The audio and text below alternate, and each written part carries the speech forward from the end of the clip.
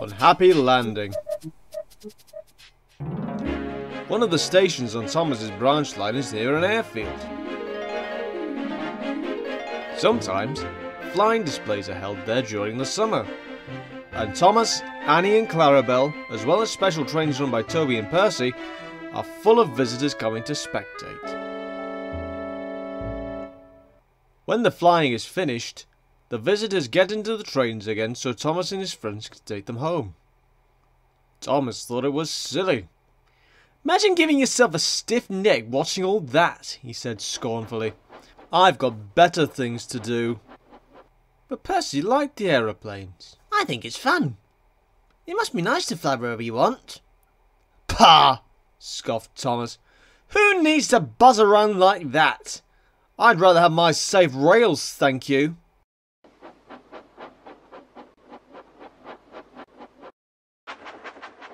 One day, Percy came to Ffarquhar with startling news. Some men had arrived at the airfield and were being taken up in an aeroplane so that they could jump out of it. Why would they want to do that? asked Thomas, incredulous at the thought. They've got these sort of umbrella things, Percy explained. They open and carry the men down safely. They're called parachutes, said Thomas's driver. They're the men from the army. They've come on a special training exercise. Thomas rolled his eyes. What stupid nonsense, he grunted, and slunk off for a rest in the shed.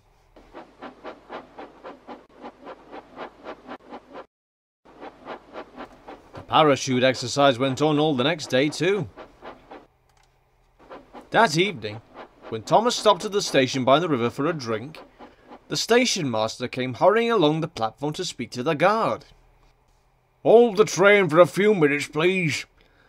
One of those parachute chaps has landed in the river, and they think that the best way to get him back to the airfield is by a train.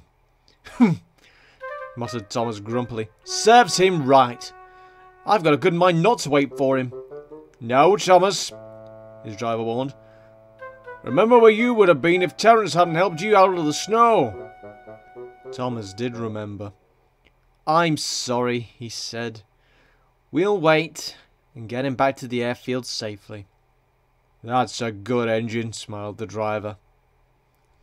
A few minutes later, the soldier squelched along the platform looking wet and miserable. The guard helped him into Clarabelle, blew his whistle, and Thomas set off again. Hurry, hurry, hurry, he puffed, anxious to make up for his bad temper.